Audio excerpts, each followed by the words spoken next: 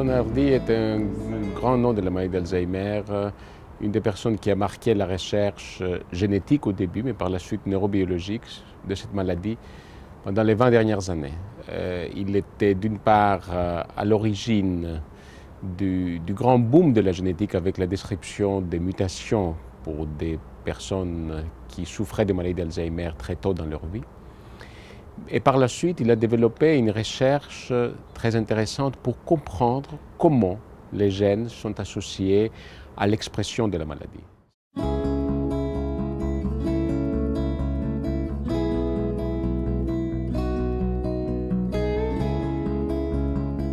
So my name's John Hardy. I'm a, I'm a, actually I'm a pharmacologist by training, and um, I started working on Alzheimer's disease pharmacology uh, in the 1980s. But in the late 1980s, I started to work on the genetics of the disease, and that's really what I've worked mainly on. So I've worked mainly on the genetics of Alzheimer's disease.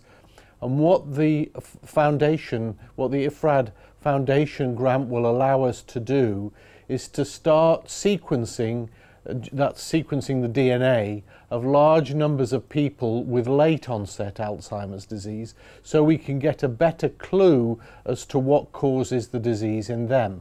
This is a new biology of stem cells and it offers a very exciting and clear way of finding out how the diseases start, these diseases are started. What we're trying to do is understand exactly, exactly how mutations lead to disease.